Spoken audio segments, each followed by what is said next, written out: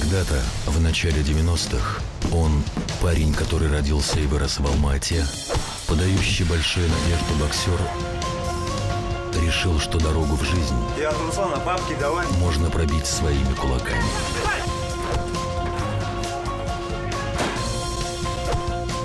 Отпусти. Жан. И вроде все складывалось для него неплохо.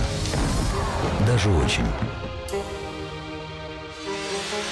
Наступает момент, когда он начинает понимать, что назад уже дороги нет. Что за все в жизни, оказывается, надо платить. Как убили? Какой ценой? Он узнает позже.